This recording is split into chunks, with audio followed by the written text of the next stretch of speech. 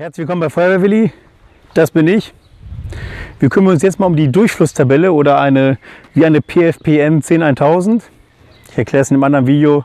Äh, auch am Ende verlinke ich das mal, was eine PFPN 10100 ist.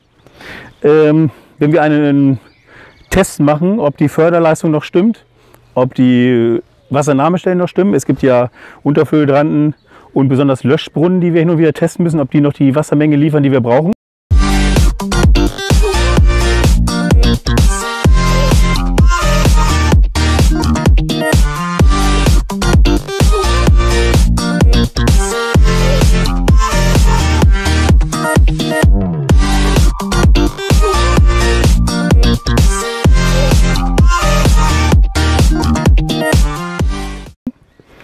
Dafür gibt es an der Pumpe bei uns einen Zettel. Diesen Zettel beschreibe ich in einem Theorievideo. Ich blende euch das auch am Ende nochmal ein, wie das genau zu handhaben ist. Aber nochmal zur Erinnerung, ich habe hier, das war dieser Zettel, und ich habe hier verschiedene farblich markierte gelb und grünes äh, C-Strahlrohr und dieses schöne rosa ist ein B-Mehrzweckstrahlrohr und ohne Mundstück, so wie ich es jetzt angebaut habe, ist diese Spalte. Und ich möchte jetzt die 1000 Liter fahren. Dafür brauche ich bei dem B-Mehrzweckstrahlrohr ohne Mundstück brauche ich genau 10 Liter, äh, 10 Bar Druck. 10 Bar Druck.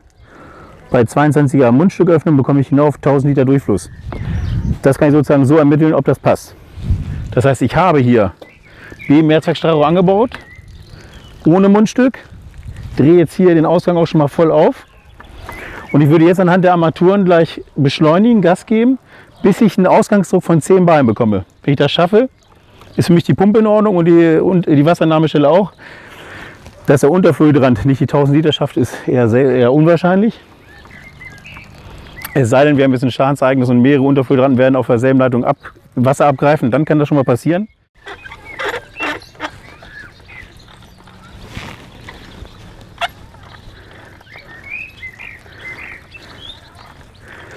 So.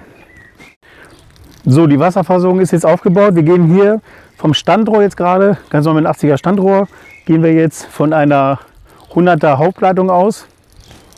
Wir haben ungefähr einen Eingangsdruck von 5 Bar, das ist sehr ordentlich. Das heißt, hier kommt schon 5 Bar an. Hier drücken schon von innen 5 Bar aus dem Schlauch raus. Das heißt, ich werde jetzt die Pumpe machen und gleich mal testen, wie viel Wasser wir hier rausbekommen, okay? Natürlich macht ihr das zu Hause nur mit Schutzausrüstung, Helm, Visier von mir aus runter äh, und natürlich mit Schutzhandschuhen. Okay? Ich mache das jetzt nur so für euch, damit ihr besser seht, was ich genau mache. Nicht, dass es irgendwie so ein bisschen untergeht. Okay? Wisst ihr Bescheid? Los geht's. So, ich öffne jetzt das Mehrzweckstrahlrohr. Läuft. Und jetzt mache ich die Pumpe an. Erstmal Kupplung treten, sozusagen starten, einkuppeln und werde jetzt auf 10 Bar erhöhen.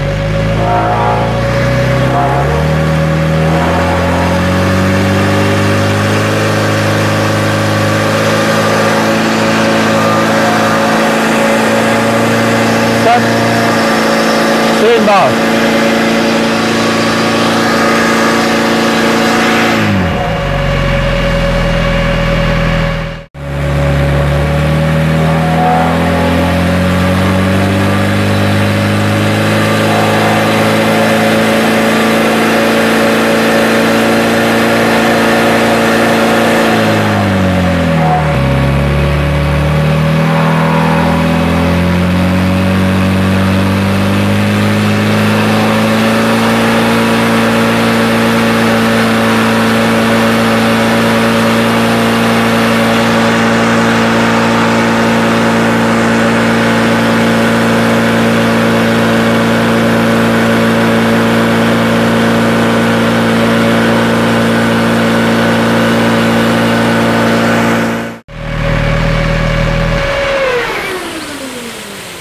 Das war schon. Test bestanden. Ich könnte jetzt gucken, wie viel der Unterfülldrand hergibt, wenn ich jetzt die volle Leistung gebe. Aber das mache ich ungern sehr mit ohne Schutzausrüstung, weil man in Grenzbereichen arbeitet. Das möchte ich so nicht. Aber man könnte jetzt gucken, bei was für einem Druck, das mal zu, bei was für einem Druck jetzt was nachgehen würde. Ob die Pumpe es nicht mehr schafft oder der Druckschlauch Druck verliert, dann wird es bedeuten, dass er zu wenig Wasser bekommt. Aber diese 10 Bar, also das sprich in Verbindung mit diesem Mehrzweckschallrohr, 1000 Liter pro Minute soll er schaffen. PFPN 10 1000, 10 Bar, 1000 Liter pro Minute. So wollen wir es haben. Ne? Super. Alles klar. Vielen Dank, das war's schon und äh, gefällt mir, abonnieren den Channel. Traumhaft, sage ich euch. Bis dann, macht's gut. Euer Feuerwehrwilli. Bis dann.